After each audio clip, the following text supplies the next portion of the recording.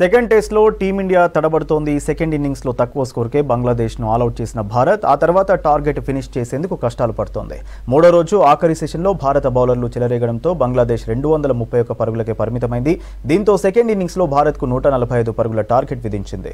Allrounder Axar Patel మూడు వికెట్లతో బంగ్లాను దెబ్బకొట్టాడు బంగ్లా బ్యాటర్లలో ఓపెనర్ జకీర్ హసన్ యాభై ఒకటి లిటన్ దాస్లు డెబ్బై మూడుతో హాఫ్ సెంచరీతో రాణించారు.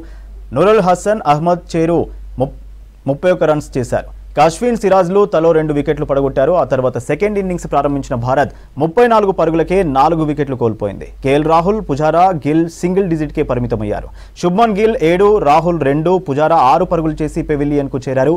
ప్రస్తుతం అక్షర్ పటేల్ కోహ్లీ క్రీజ్లో ఉన్నారు.